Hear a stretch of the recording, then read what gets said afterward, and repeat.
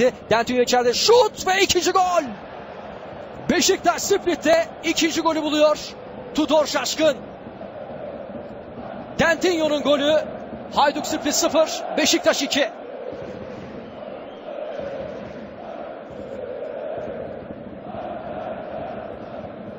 Dentinho hazırlık maçlarında da zaman zaman güzel goller atmıştı.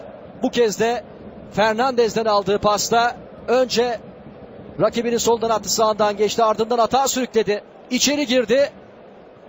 Defansın müdahale çabasına karşın topu ağlara gönderdi. İşte Dentinho'nun golü.